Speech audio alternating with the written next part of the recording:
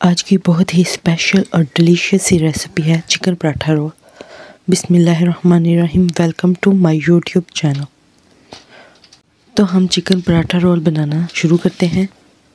पहले हम boneless chicken लेंगे, उसमें मैंने तिक्का मसाला ऐड किया है। आप दूसरे जो भी आपको मसाला ज़्यादा पसंद है, वो शामिल कर सकते हैं। और फिर इसके अंदर हंसबे ज़ायका, लेमन शामिल करेंगे। इसके अंदर बहुत ही कम इंग्रेडिएंट्स शामिल होंगे। और अब इसके अंदर मैंने थोड़ा सा योगर्ट और मलाई को मिक्स करके इसके अंदर शामिल किया है। क्योंकि हमें एक क्रीमी सा टेस्ट चाहिए चिकन पराठा रोल के अंदर। तो मैंने इसके अंदर क्रीम और योगर्ट दोनों को मिक्स किया है। अब इसको अच्छे से मिक्स कर लेंगे।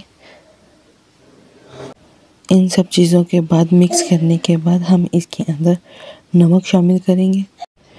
फिर चिकन को अच्छे से मिक्स करेंगे और 10 से 15 मिनट के लिए हम इसको छोड़ देंगे। अब हम इसको रेस्ट देने के बाद पकाएँगे। मैंने एक पैन लिया, उसमें ऑयल शामिल किया। ऑयल ज़्यादा नहीं रखेंगे और मीडियम फ्लेम रखेंगे।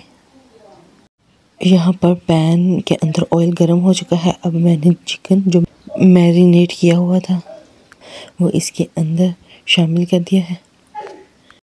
चिकन को मीडियम आँच पर अच्छे से पकाएँगे। इससे इसके टेस्ट में भी इजाफा होगा और साथ में ये अंदर तक अच्छे से पक जाएगा।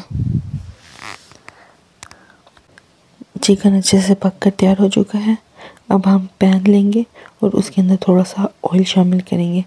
अब मैंने यहाँ पर फ्रोज़न पराठों का इस्तेमाल किया है।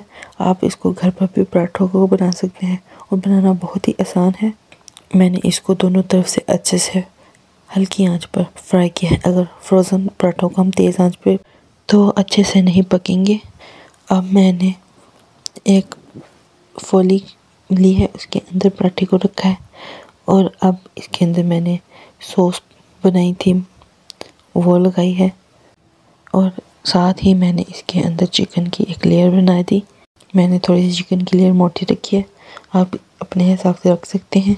और मैंने फिर इसके ऊपर कटा हुआ बरी कटा हुआ प्याज, जो कि मैंने पहले ही काट कर रख लिया था तो इसके अंदर शामिल किया है। ये भी ऑप्शनल है। अगर आपको पसंद है तो आप ऊपर लगा सकते हैं। नहीं तो छोड़ भी सकते हैं। तो हमारे पास चिकन रोल पराठा बनकर तैयार हो चुका है। अब हम इसको मज़े से खाएँगे।